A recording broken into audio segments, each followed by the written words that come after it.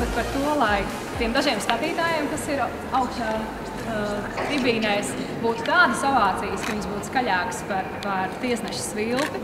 Un tāpat arī, lai šajā spēlē, neskatoties uz to, ka tā ir spēle, saimas kungi pret jums dāmām, tik tiešām uzvarētu šī sportiskā sacensība. Un, un rītdien ir, ir šī startautiskā sieviešu dienas, kad šādā veidā nosvinēt šo dienu, tas ir labs piemērs, ka sportā, komandā mēs varam būt kopā.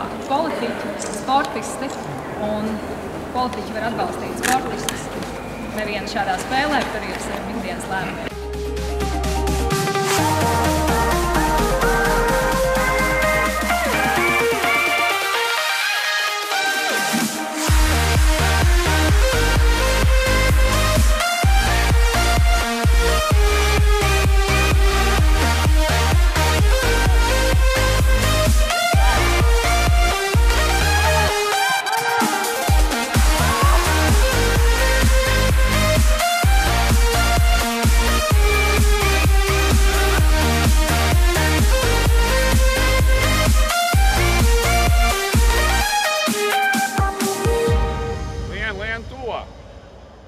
Rijbeck, doelwaard!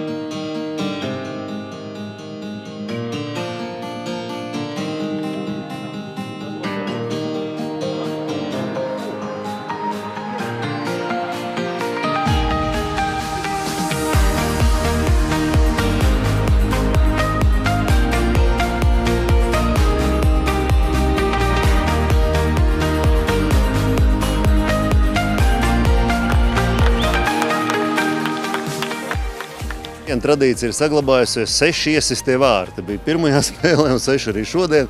Nu, meiteņi šodien iesiet vairāk nekā mēs, bet ar to es arī viņus apsveicu.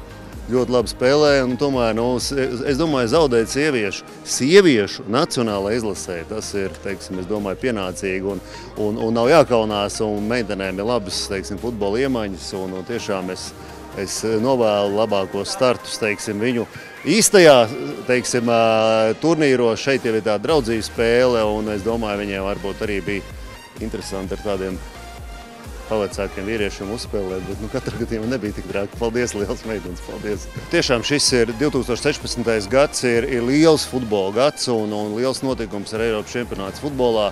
Un, t- es, es ceru, ka šī tāda varbūt ir ieskaņa arī vispār futbolam, kā sporta spēļu karalim arī Latvijā, jo diemžēl, diemžēl mēs vēl nevaram to rezonanci iegūt tā, kas ir teiksim, Eiropā un pasaulē šim sporta veidam, bet nu, ar, ar šādām spēlēm tieši mēs to arī cenšamies popularizēt, jo te tiešām, nu, protams, rezultāts ir rezultāts, bet es domāju, svarīgi ir parādīt, ka arī jaunieši redz, ka saimnes deputāti, jā, teiksim, ir, ir spējīgi nu, spēlēt arī laukumā un, un ne tikai tur kaut kur sēž un, un pogas spaida. Jā. Tā, Šis gads patiešām ir ļoti tāds liels ar to futbolu. Jā, man liekas, ka gan visas vecuma grupas, jā, gan tieši sieviešu futbola izlase nacionālajā. Jā, šis gads būs tāds pārsteigums, jo mēs piedalāmies Zēņu čempionātā, jā, U14 grupā.